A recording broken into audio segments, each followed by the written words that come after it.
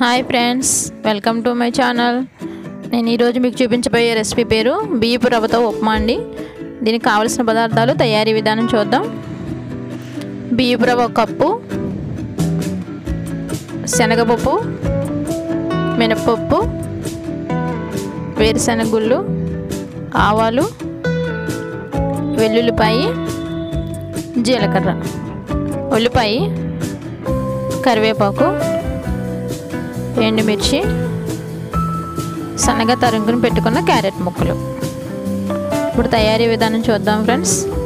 ముందుగా ప్లేట్ తీసుకుని రవ్వ అందులో పోసుకుని ఓ రెండు స్పూన్లు ఆయిల్ పోసుకొని బాగా కలుపుకోవాలండి. ఎందుకంటే మనం ఉక్క పెట్టుకునేటప్పుడు పొడి పొడిలాడుతూ ఉంటుందండి. తర్వాత కుక్కర్ తీసుకుని ఒకటికి రెండు వాటర్ పోసుకుని కలవి పెట్టుకోవాలండి దానిలో ఒక స్పూన్ సాల్ట్ వేసుకోవాలి. ఒకటికి రెండు వాటర్ అండి. వాటర్ పెట్టుకుని కలుపుకుని టూ విజిల్స్ వచ్చే వరకు వెయిట్ చేయాలి. తర్వాత మనం స్టవ్ వెలిగించుకుని బాండీ పెట్టుకుని పోపు దినుసులు రెడీ చేసుకున్నాం కదండి అవి. ఆయిల్ వేసుకుని పోపు దినుసులు వేసుకోవాలి. చూస్తున్నారు కదా ఫ్రెండ్స్ మనం అరేంజ్ చేసుకున్న పోపు దినుసులన్నీ అలా వేసుకోవాలి. తర్వాత వెల్లుల్లిపాయలు చెత్తగొట్టుకుని వెల్లుల్లిపాయలు వేసుకోవాలండి. కొంచెం వేగే వరకు తిప్పుకోవాలి.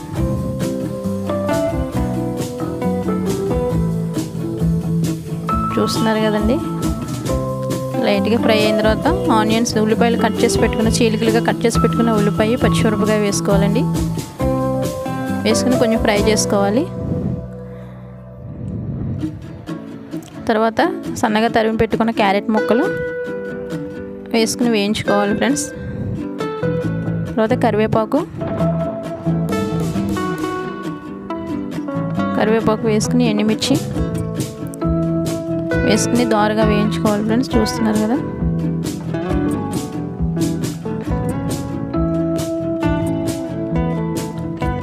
సరిగా ఫ్రెండ్స్ కొంచెం ఫ్రై అయిపోయినట్లని ఇప్పుడు మనం ఇందాక ఒక్క పెట్టుకున్న రవ్వ చిన్న ప్లే విజిల్ తీసేసుకుని ప్లేట్లో తీసుకుని ఒక నిమిషం ఆరబెట్టుకున్న తర్వాత దాన్ని మనం ఫ్రై చేసుకున్నాం కదా పోపు దినుసులు వాటిలో వేసేసుకుని కలుపుకోవాలండి చూస్తున్నారు కదా?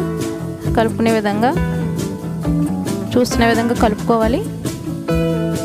మనకి సాల్ట్ కావాలని కొంచెం యాడ్ చేసుకోవచ్చండి. సరిపోతే పర్వాలేదు.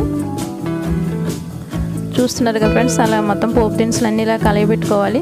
తర్వాత టూ మినిట్స్ దాన్ని మూత పెట్టుకుని మగ్గనివ్వాలండి. చూస్తున్నారు కదా ఫ్రెండ్స్ వేడివేడిగా బియ్యపు రవ్వతో ఉప్మా రెడీ అయిందండి. చూస్తున్నారు కదా ఫ్రెండ్స్ ఈ వీడియో కనుక మీకు నచ్చినట్లయితే మీ ఫ్రెండ్స్కి షేర్ చేయండి లైక్ చేయండి మా ఛానల్ని సబ్స్క్రైబ్ చేయండి. Thank you friends